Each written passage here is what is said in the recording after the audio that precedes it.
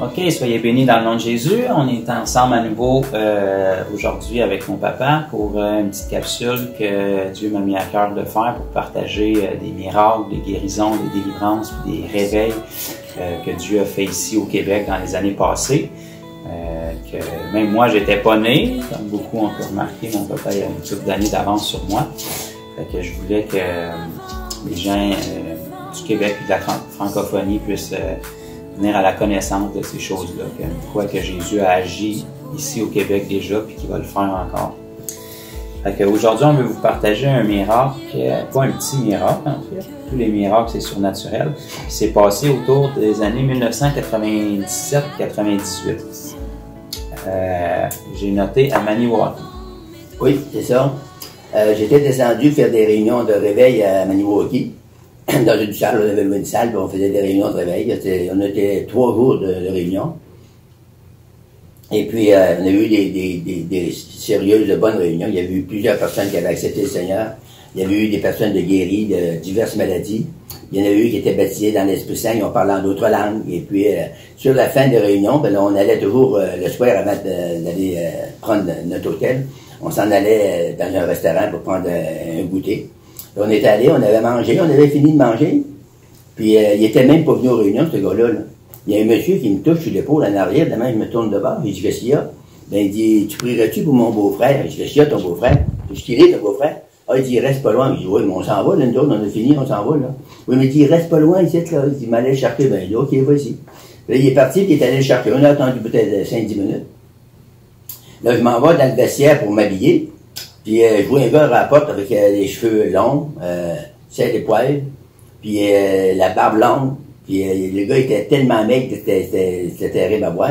C'était un quelqu'un qui avait assisté à la croisade? Non, il n'a pas assisté. Il n'avait pas assisté. Oui, l'autre gars, c'était celui qui l'avait invité, c'était son beau-frère. Lui, il avait assisté à la croisade. OK. Puis lui, il vous a dit, avant que vous partiez, est-ce que je pourrais aller le chercher parce qu'il n'était pas venu à la croisade? C'est ça.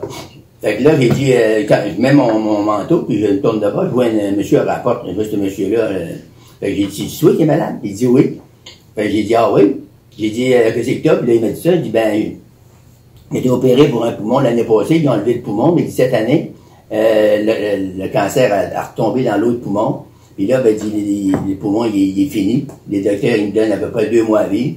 Puis, euh, c'est pour ça que je vous ai fait prier pour moi. Puis, tu crois-tu, que, tu crois-tu ça, tu vois? Que, moi, il dit, oui, je crois ça? Tu sais, quand quelqu'un est malade comme ça, c'est difficile de croire vraiment. Fait j'ai dit, OK, là, j'ai prié, mais j'ai pas prié euh, la guérison, j'ai chassé le mauvais esprit parce que ces maladies-là, c'est produit souvent par des démons. Le monde aujourd'hui, ils comprennent pas ça, ils, ils connaissent pas ça, mais soyez sûrs et certains, c'est pas le bon Dieu qui envoie des affaires de même sur euh, ses enfants ou sur les humains. C'est produit par des mauvais esprits. Alors, j'ai chassé le mauvais esprit, puis en chassant le mauvais esprit, l'esprit de Dieu est descendu sur lui, puis il a été vraiment touché. Là, nous autres, on s'est habillés, on s'en allait. On t'a couché, le lendemain matin, on, a monté chez nous. On est resté, on demeurait à Beaumont. Fait que le mardi, le téléphone sonne. Je réponds au téléphone, bonjour. Il y a une femme qui me dit, elle dit, euh, bonjour, monsieur Bouchard, j'ai joué.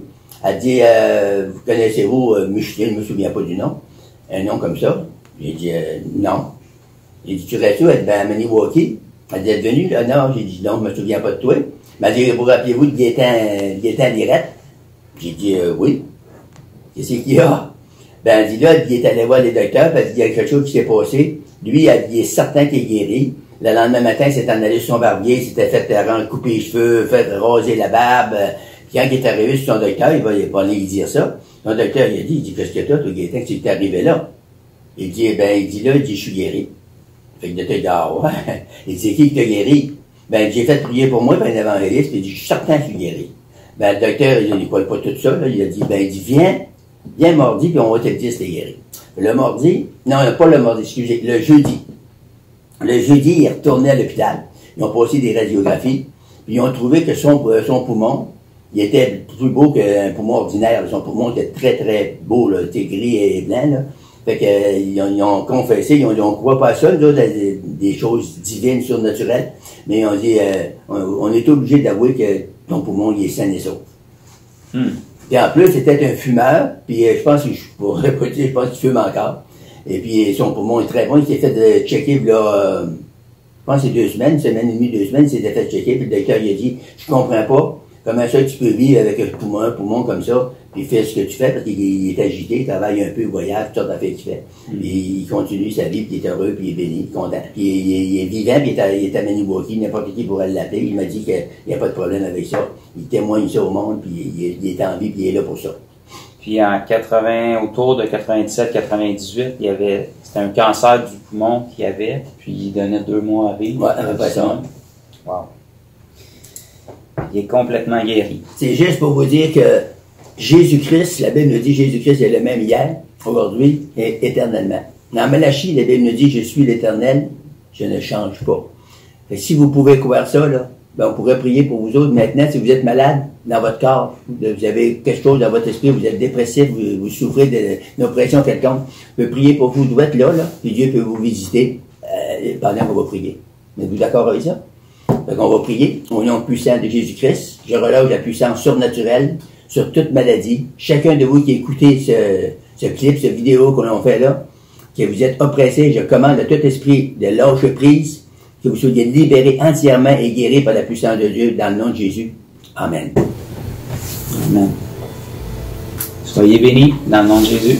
Amen.